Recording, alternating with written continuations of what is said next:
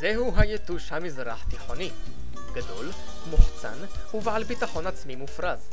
שני אסכולות ידועות בהתמודדות אל מול המטרד, האקטיבית והפסיבית. היום נעסוק באסכולה הפופולרית והידועה יותר בקרב הציבור הישראלי, הפסיבית.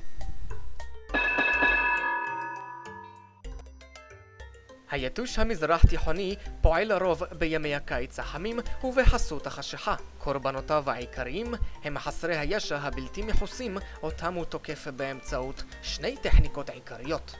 גיחות קצרות אך כואבות הגובות מחיר דמים כבד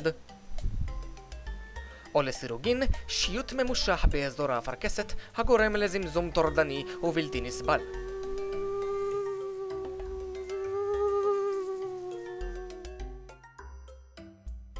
שכבת המגן הטבעית כאמור מפני היתוש היא השמיכה. השימוש בשמיכה מקביל לארבעה דרגות חום עיקריות. הכיסוי החורפי והמוכר בדרגת חם פיצוצים אינו אידיאלי לעונת הקיץ. אך השימוש בו יחסום את גישתו של היתוש למרבית חלקי הגוף, ובכך ימנע מרחץ דמים. מאידך, גישה זו תזמין תקיפה חסרת תקדים על איברי השמיעה, מצב העלול לגרום לאיבוד היכולות הקוגניטיביות המוביל להתפתחות מואצת של מזוכיזם חמור.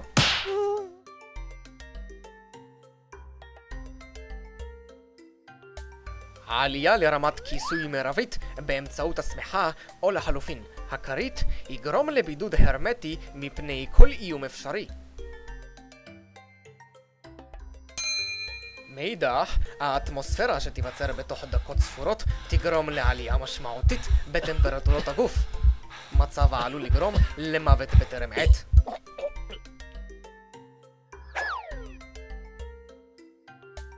לפיכך, לאחר שכל האמצעים האלטרנטיביים כשלו מלהועיל, נותרה בידך רק אופציה אחת. נשק חם. כן כן, טען, כוון, ורסס.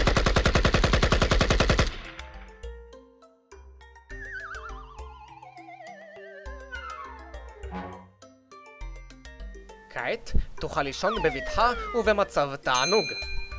לילה טוב. מוגש לציבור מטעם המשרד לביטחון פנים. לפרטים נוספים בדבר נקודות מכירה, התפקדו לאתר www.shootemup.gov.il